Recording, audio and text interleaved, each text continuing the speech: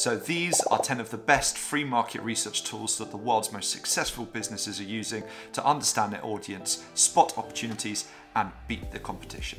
The most powerful free tool out there is still Google Trends. Google Trends lets you see what people are searching for.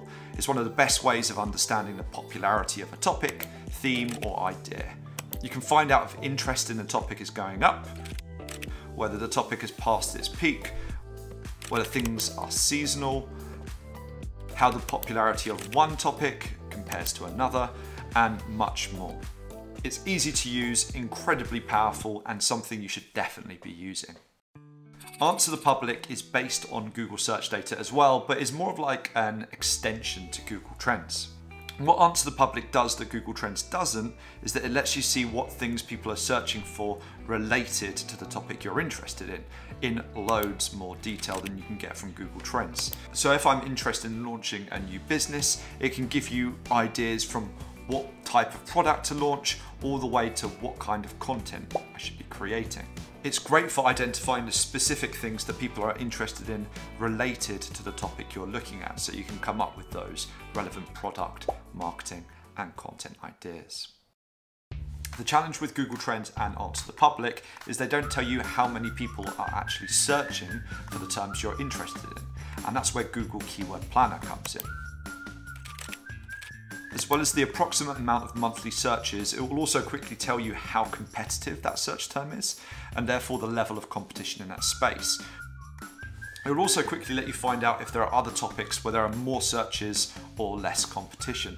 It was a tool that was initially designed to help you get a better understanding of keywords that you need to optimize for your SEO, but smart people are using it to understand things more broadly. Now, before you know what to search for within these tools, you need to come up with that idea in the first place. And if you're looking for inspiration, the advertising giant Wunderman Thompson comes out with their annual list of the top 100 trends to watch.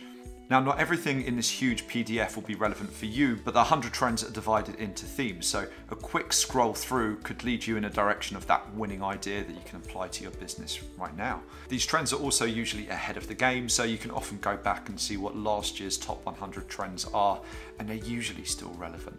You can find a link to access this document as well as everything that I talk about in this video below.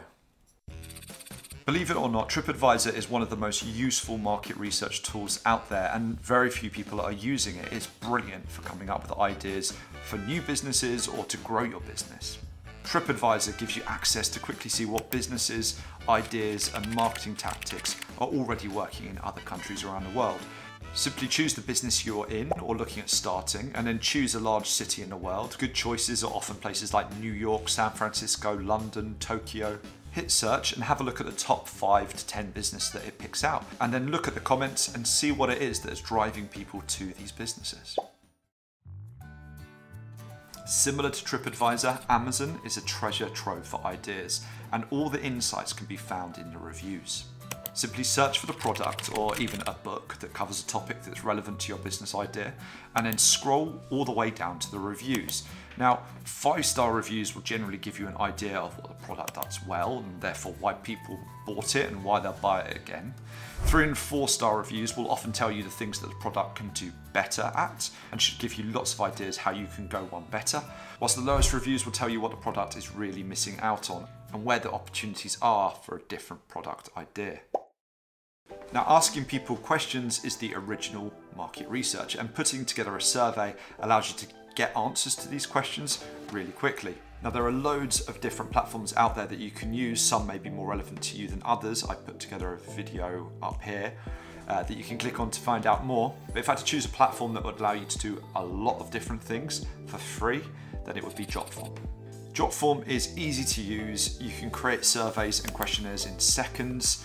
There are both visual templates and questionnaire templates, so where the questions have already been put together for you, so you don't have to start from scratch. It makes it easy to use, quick to put together, and really easy to send out to your customers or people you want to get feedback from.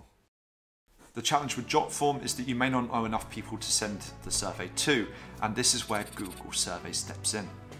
Google Surveys allows you to ask questions of random people. To ask these people questions, you will need to pay a little bit of money.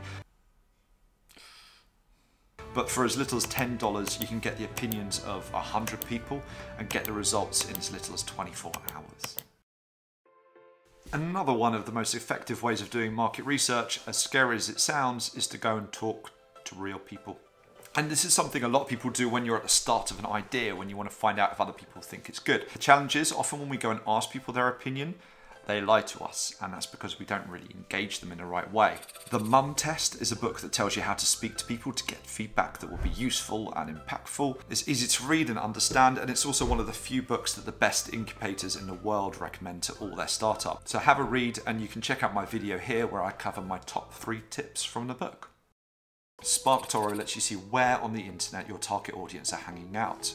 You provide the starting point, like a website or social account that they're likely to follow, and then SparkToro will tell you what other websites they visit, what other YouTube channels they watch, Twitter handles they follow, and much more. It's really powerful to get inspiration for topics, to understand what communities you should be engaging in, and even where you should be targeting your marketing.